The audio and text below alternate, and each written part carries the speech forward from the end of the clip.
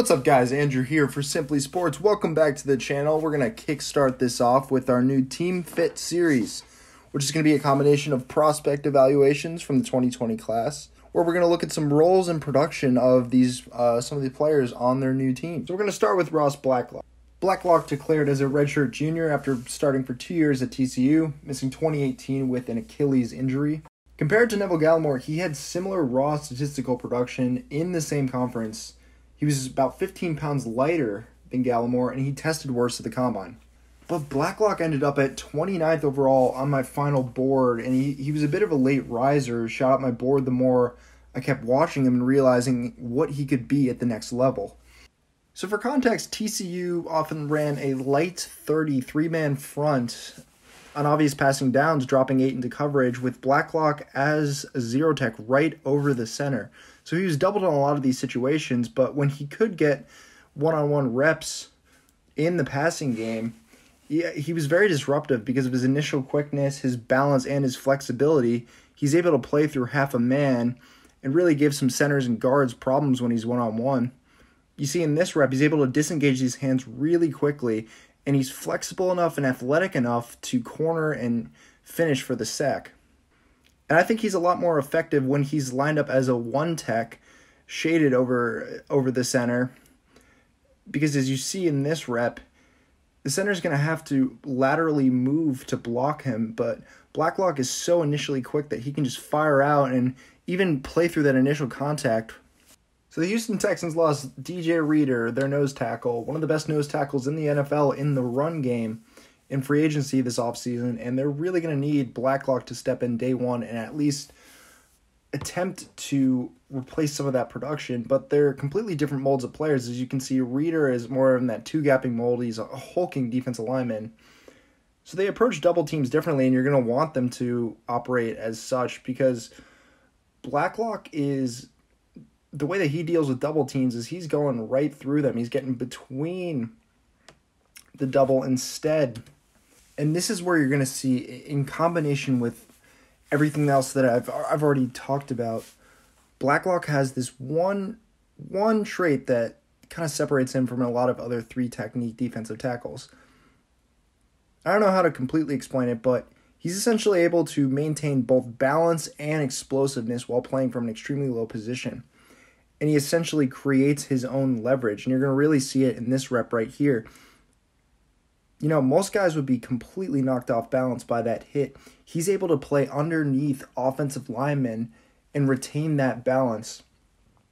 And Reader doesn't really show any of this balance or, or lateral mobility. He, he really ended up on the ground in a lot of the reps that I saw when he was asked to either twist or stunt, which the Houston Texans front really kind of needed to do because they, they just could not generate pressure on their own, especially against good O line units. Um, against bad O line units, Houston actually could generate a rush. The in the in three games against the Jaguars and the Chargers, they had 13 sacks and 12 plus pressures in each game, which is about half their sacks for the total season. But when you look at their production against good O lines in five regular season games against the Saints, Chiefs, two games against the Colts and the Raiders. They only had four sacks and only 12 pressures one time, which came against the Colts in week seven, during which J.J. Watt had eight of them on his own.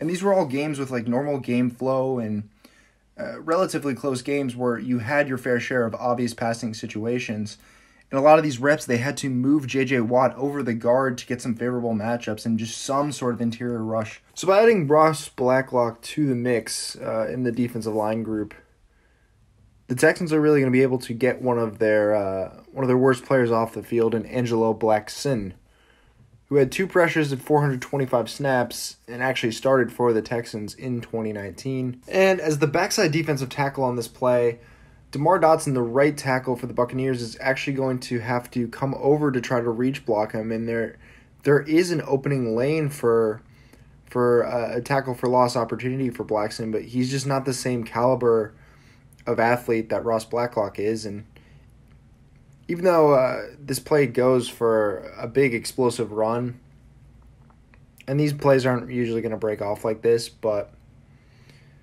there's a lot of plays um, uh, that Blackson just can't make from from a backside perspective that Blacklock can. But I think that Ross Blacklock can really be a problem at the next level on the front side of run plays too because he's got that get off and initial quickness, but for 290 pounds, he's got surprising play strength, and then this is where you see that that special ability for him to really explode out from that low position.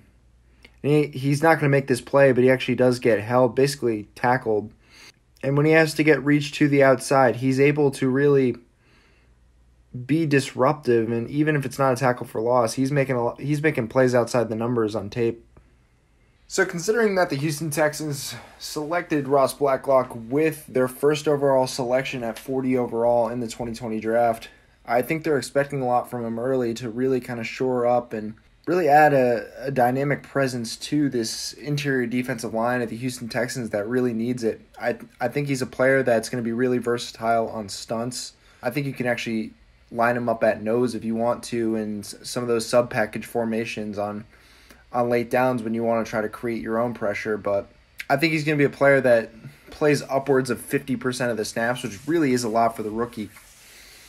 For for a rookie coming in, but I don't think he he has the luxury of playing a smaller percentage of the snaps like someone like Raekwon Davis for the Dolphins is. And it's always hard to project overall defensive tackle statistics. It's not really the it's not really a sexy position for sack totals and that type of stuff, but I think the impact is going to be underrated uh, for Ross Blacklock, even in year one and, and definitely in years two and three as as a big part, as a big building block for this defensive line.